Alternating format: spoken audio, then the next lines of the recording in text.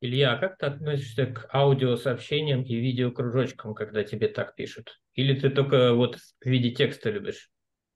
Я прекрасно отношусь к аудиосообщениям, потому что пока их слушаешь, можно мыть посуду или там, не знаю, переодеваться или идти по улице в сторону кофейни или что-то еще делать.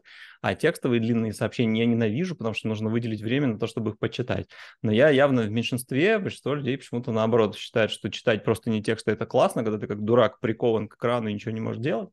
Э, вот, поэтому единственное, что если вы просто запишете мне в личку voice на 5 минут, не объяснив, что это такое, то, ну, скорее всего, у меня большое количество непрослушанных подкастов, э, про которые я точно знаю, что там мне будет интересно, я предпочту их послушать.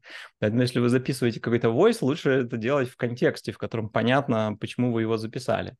Вот, то есть мне кажется, ну, если там, правда, пару слов, то проще их написать, чтобы их можно было прочитать. А если вы там, например, хотите как-то прокомментировать какую-то свою работу, э, чтобы я ее правильно понял и там мог вам прокомментировать в ответ, то, ну, можно хотя бы написать пару слов, что там вы объясняете, почему сделали так или иначе, и у меня будет понимание, зачем это слушать.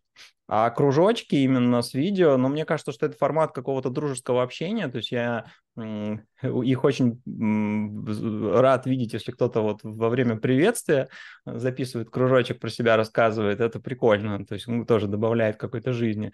Но в обсуждении каком-то по делу как будто это не очень уместно. То есть э, записать кружочек в семейный чатик, как ты там где-нибудь, не знаю, в, по в поездке гуляешь или что-нибудь прикольное попробовал в кафе, нормально, а в рабочий чатик как будто э, ну, рассказать о том, какой ты там новый проект хочешь взять, как будто не очень логично. Вот. Ну, мне так кажется.